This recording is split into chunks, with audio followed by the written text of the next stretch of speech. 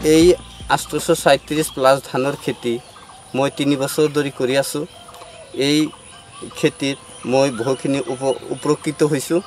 এই ধানৰ খেতিৰ সিজাবিলাক দীঘল দীঘল হয় আৰু এই খেতিত এ, কৰিলে কোনো ধৰণৰ ব্লাইট নালাগে। আৰু এই খেতিত মানে এই ধানৰ ভাত খাওঁতে কোনো ধৰণৰ আঠা নহয়। এই খেতিত মই ভালেখিনি উপকাৰ পাইছোঁ।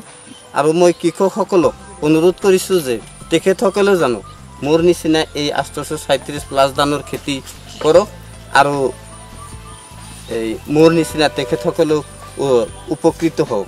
আৰু ইয়াৰ এই খেতিৰ উৎপাদনো মই তিনি বছৰ ধৰি কৰি আছোঁ মোটামুটি ত্ৰিছ একত্ৰিছ বা কোনো বা বছৰ মানে বত্ৰিছ মানক লগিনি আমি পাইছোঁ। তো মই কৃষকসকলক অনুৰোধ কৰিছোঁ তেখেতসকলেও যান মোৰ নিচিনাই এই আঠশ ছয়ত্ৰিছ ধানৰ খেতি কৰি তেখেতসকলক তেখেতসকলক উপকৃত হওক বুলি মই আশা ৰাখি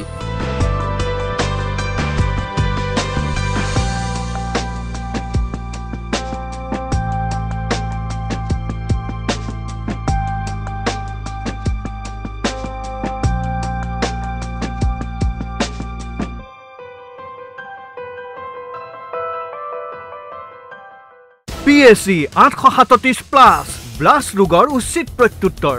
আপোনাৰ উপাৰ্জন সুন্দৰ। ইয়াত আছে ব্লাষ্ট ৰোগৰ বিৰুদ্ধে যুঁজ দিয়াৰ ক্ষমতা। শকত গধুৰ ধানৰ গুটি অধিক উৎপাদন প্ৰদান কৰোতা। এশ ত্ৰিছৰ পৰা এশ পঁয়ত্ৰিছ দিনত পকি পইণ্টত তেন্তে লৈ আনক পি এছ চি আঠশ সাতত্ৰিছ প্লাছ সুন্দৰ উপাৰ্জনৰ সম্ৰাট।